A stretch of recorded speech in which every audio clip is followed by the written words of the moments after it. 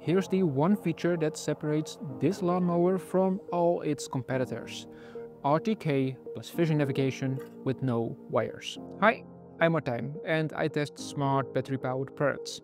Today we're taking a look at the robot mower from FJ Dynamics, the FV2000. A robotic mower that claims it can mow up to 2000 square meters a day with centimeter level accuracy and without any boundary wires. So stick around because I'll show you in this video the unboxing, the setup, how it performs in different parts in my garden, as well as all the pros and cons after using it for quite some time.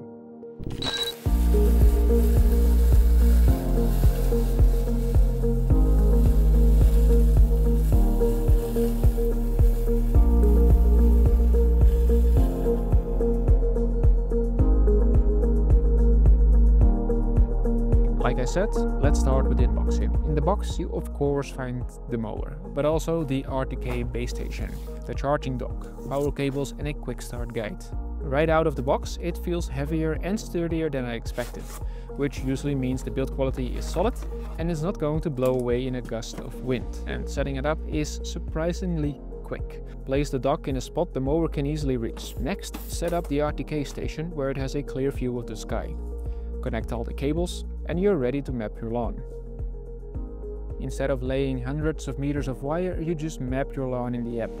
You can add for example no-go zones around things like flower beds and even corridors to connect separate areas. The FV2000's standout feature is its RTK GPS combined with vision-based navigation, and this combo means it knows exactly where it is, down to the centimeter. And when GPS signal drops, for example under trees or near buildings, it seamlessly switches to its onboard camera system to stay perfectly on course.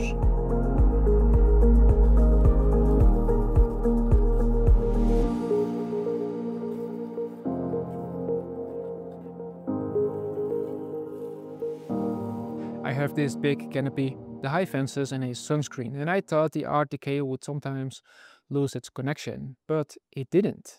The connection stayed strong and mowing lines stayed perfectly straight. It's also fitted with obstacle detection, so when our dog decided to lay in the middle of the grass field with her toys, instead of getting confused or too close, it slowed down, adjusted its route and went around it without any drama. If it needs to recharge halfway through, it remembers exactly where it left off and starts from there once recharged. The battery lasts around 90 minutes before it heads back to charge.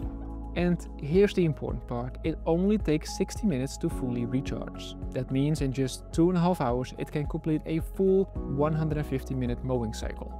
Now I have to say many other competing models run a bit longer on one charge, but often take twice as long or more to recharge, so overall the FV2000 still finishes the job faster. On paper it can handle slopes up to 33 degrees, which is quite steep for a robot mower.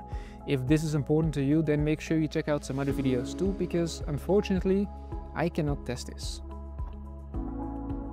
Underneath it has a 255mm cutting width and adjusting cutting height from 10 to 50 mm, letting you choose between a close crop lawn or a slightly longer healthier cut.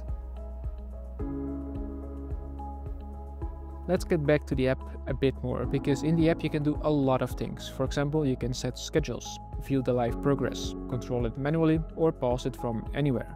The live map in the app is oddly satisfying to watch. You can literally see the lawn getting greener on the screen as it works its way around. I already mentioned this at the beginning of the video, but you can easily manage and add no-go zones. So I've set it up for example around my flower beds, so it never trims something it shouldn't. The app also gets over-the-air updates, so new features and improvements uh, just show up without you doing anything. There's even a fun manual drive mode. So if you want to quickly touch up a corner or move it somewhere without carrying it, you can just steer it from your phone.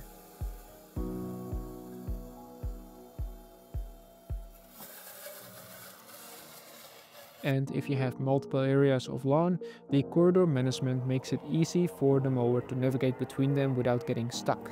In my case, it passes right through a narrow path to the other yard with no issues. The rain sensor means it pauses mowing and heads back to the dock automatically when it detects rain.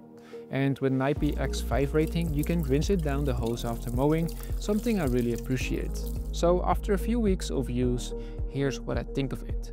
So on the pro side, we have for sure the no boundary wires plus easy quick install. Accurate mowing, handles uneven lawns well, real-time app control and tracking, and lastly rain detection and easy cleaning. And on the other side, I've got two points to take into consideration. First of all, the long-term durability is unknown, and a 90-minute runtime means multiple cycles for very large lawns. For me, the no-wire setup is the biggest win by far. I've laid it out before and I'm happy that I never have to go back anymore. If you've got up to 2000 square meters of lawn, especially if it's complex or has slopes, this mower could save you hours every month. If your lawn is a bit small, like mine, your experience will be even better because this mower completes the work very efficiently without supervision. It's like having a professional lawn care expert at your service. And if you love tech, it's definitely worth it. For me, this is the type of tech that I love because it takes care of your garden, saves me a lot of time that I can spend with my family, and it just quietly does the job without me even thinking about it anymore. Now, if you want to have the same in your house, then go watch this video over here. It's a robot cleaner for in your house. Go check it out right now because we've reached the end of this video. So I hope you enjoyed it. If you did, give it a like and don't forget to subscribe. So see you in the next one.